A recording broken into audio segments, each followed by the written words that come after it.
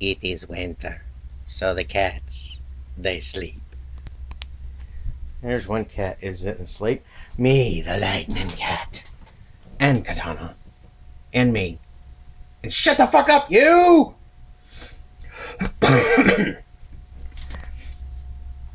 right. Give me a minute. Just wait, right there. Don't move. Perfect. Yes, I can totally see you through the, the camera into the future. Seriously. Okay. Dig this. I got contacted back from uh, customer support, Rockstar support. Yeah, I know how to report people. Going down the other bit. They said they'll pass on the suggestion and feedback. Fucking awesome. Yay!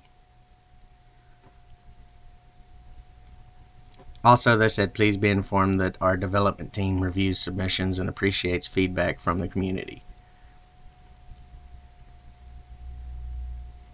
I wonder if they do the same sort of email to thank you for giving feedback if you contacted Bethesda's support team. Probably fucking not. We've already all all seen the videos from Fallout 76's Nightmare. Yeah, I'm taking a free stab at it because why the fuck not?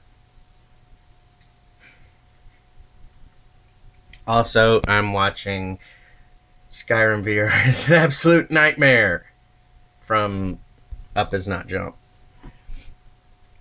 So, I'm immersing myself completely in the vast quantities of space that is known as the difference between the PR nightmare known as Fallout 76 and the fucking finely polished AAA worthy beta that is Red Dead Redemption 2.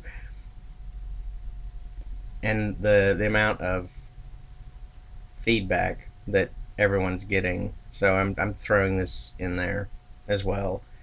It's just part of the mindless mass of YouTube now.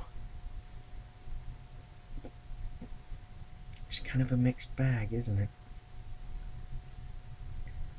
it? Mission replayability, trading ammo, food, and etc. Fuck yeah. Let's see, what else? There were some other things we found out after we stopped recording the other day. I don't remember. Joe, do you remember? Where, where the fuck are you? You're usually around here somewhere. Oh, I don't have my headset on. Fuck's sake. Anyway, the main point of this is these guys fucking said thank you. The fuck did the assholes from the Bethesda support team do? Not give people refunds when they demanded them? Fuck that. And as shallow and plotting as this has been, I'm ending it now. Bye.